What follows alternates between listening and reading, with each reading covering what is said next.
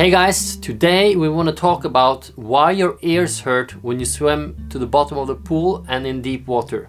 We're also going to talk about how you can stop your ear from hurting so you can enjoy a swim and go as deep as you want. If you look at your ear, it's a, it's a channel and in the end of that channel there's a, a thin skin stretching across it. That's called the eardrum. Inside the eardrum, it's filled with air and that air is the same pressure as outside uh, of your head. That's why there's no unpleasantness when you walk around here now. From that pocket, there is another small channel connecting from your ear and into your nose. So if you look at this channel like this balloon, this is your middle ear. It's filled with air and it's the same pressure as outside. So when you swim deeper in the pool, the pressure gets higher and the air gets squeezed out like this. And to stop the pain, you need to refill the air like this. The same happens when you go in an airplane and you're very high up and you're going down. You need to equalize. The way you do this, you pinch your nose like this and you blow out like this. Then you will hear, feel something in your ear. You want to do this as soon as possible when you start to feel a bit uncomfort.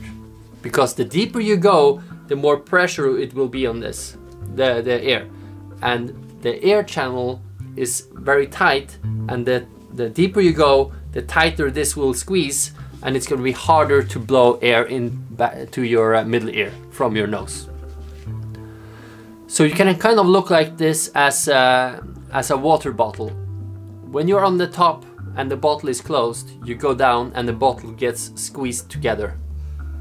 And when you uh, are on the bottom, we have to blow air into the bottle to make it go normal again.